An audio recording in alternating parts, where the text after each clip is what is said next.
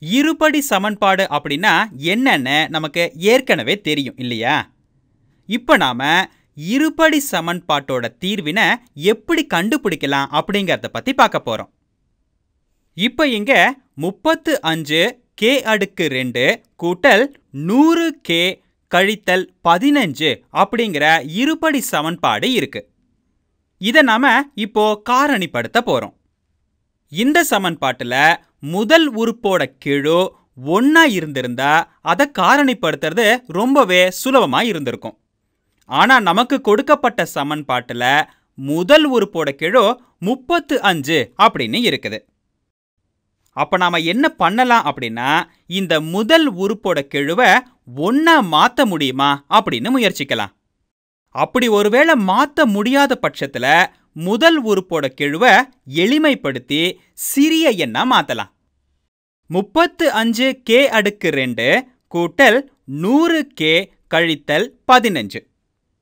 இந்த உறுப்புகளோட கெழுக்களை பார்க்கும்போது இவை மூணுமே அதாவது முப்பத்தஞ்சு நூறு குறையன் பதினஞ்சு. இந்த மூணுமே அஞ்சால வகுப்படும் அப்படிங்கிறது தெரியுது இல்லையா? இவற்றோட மீப்பெரு பொது வகு எண் அஞ்சு அப்படிங்கிறதும் நமக்கு தெரியும்.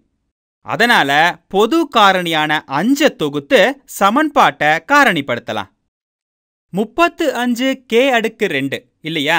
இத அஞ்சால வகுக்க நமக்கு ஏழு கே அடுக்கு ரெண்டு கிடைக்கும். அதே மாதிரி நூறு கேவை அஞ்சால வகுக்க இருபது கே கிடைக்கும். மேலும் குறை எண் பதினஞ்ச அஞ்சால வகுக்க குறை எண் மூணு கிடைக்குது. பொது காரணியான அஞ்சால நாம வகுத்ததுக்கு அப்புறமா நமக்கு அஞ்சு அடைப்புக்குறிக்குள்ள ஏழு கே அடுக்கு ரெண்டு கூட்டல் இருபது கே கழித்தல் மூணு. இந்த மாதிரி ஒரு வடிவத்துல நமக்கு கிடைச்சிருக்கு.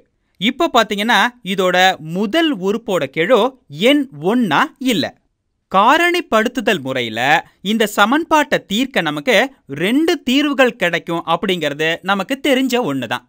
முதல் மற்றும் மூணாவது உறுப்புகளோட பெருக்கல் பலனானது ரெண்டு தீர்வுகளோட பெருக்கலுக்கு சமம் அப்படிங்கிறதும் நமக்கு தெரிஞ்சது தான் அப்படின்னா தீர்வுகளோட பெருக்கல் சமம் ஏழு பெருக்கல் குறையன் மூணு.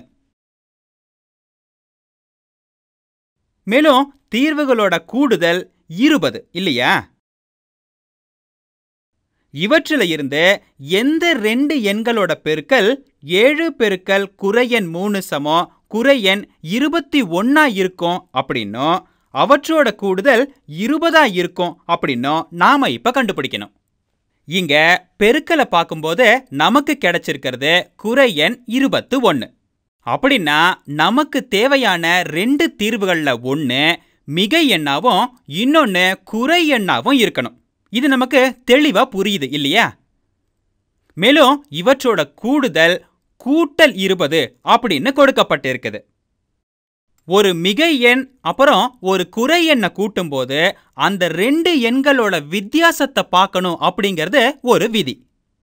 அப்படின்னா நாம தீர்வுகளை இருபத்தி ஒன்று மற்றும் குறை எண் ஒன்று அப்படின்னு எடுத்துக்கிட்டா அவற்றோட பெருக்கல் பலன் இருபத்தி ஒன்று பெருக்கல் குறை எண் ஒன்று சமம் குறை எண் இருபத்து ஒன்று இவற்றோட கூடுதலை பார்க்கும்போது இருபத்தி ஒன்று கூட்டல் குறை எண் ஒன்று சமம் இருபது அப்படின்னு கிடைக்குது. கூட்டல் இருபத்தி ஒன்று அப்படின்ற எண்ணும் குறை எண் ஒன்று அப்படிங்கிற ரெண்டு எண்களும் சமன்பாட்டை ரொம்ப சரியா நிறைவு செய்யுது. இப்போ நாம இருபது கே அப்படிங்கிற உறுப்பை இருபத்தி ஒன்று கே கூட்டல் அடைப்புக்குறிக்குள்ள குறை ஒன்று கே அப்படின்னு பிரிச்சு எழுதலாமா? நாம இப்போ அஞ்சு அடைப்புக்குள்ள ஏழு கே அடுக்கு ரெண்டு மற்றும் இருபது கேவை இருபத்தி ஒன்று கே மற்றும் குறை எண் ஒன்று கே அப்படின்னு பிரிச்சு எழுதலாம். நான் இங்க கேவை மட்டும்தான் போட்டிருக்கேன். ஒன்று அங்க இருக்கிறது எல்லாருக்குமே தெரியும். இங்க இறுதியா இருக்கக்கூடிய குறை எண் மூணு அப்படியே தான் இருக்கு. நாம இப்போ முதல் மற்றும் ரெண்டாவது உறுப்புகளோட பொது காரணிகளை தொகுத்து காரணிப்படுத்தலாமா? முதல் மற்றும் ரெண்டாவது உறுப்புகள்ல ஏழு கே பொது காரணியா இருக்கு.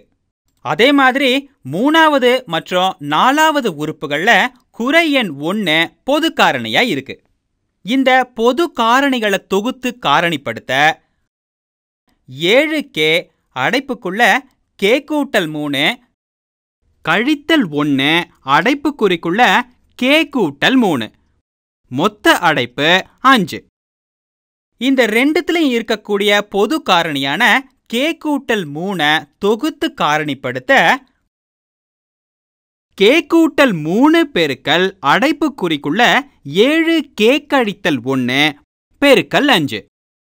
நாம கிட்டத்தட்ட முடிவை நெருங்கிட்டோம். இப்போ இதுதான் முப்பத்து அஞ்சு கே அடுக்கு ரெண்டு கூட்டல் நூறு கே கழித்தல் இருபத்தி ஒன்று அப்படிங்கிற சமன்பாட்டோட காரணிகள் ஆகும்